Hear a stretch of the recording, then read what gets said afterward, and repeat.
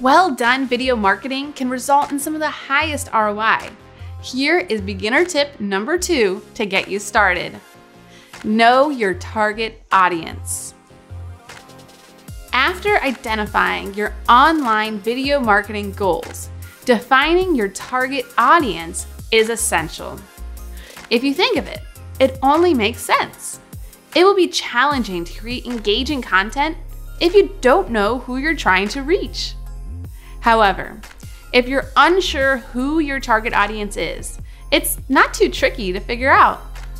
Analyze your company's internal statistics to learn more about who your customers are. Then, do some research to determine what your customers are generally interested in. At the same time, you need to study your audience's demographics and determine their age, gender, occupation, and income level.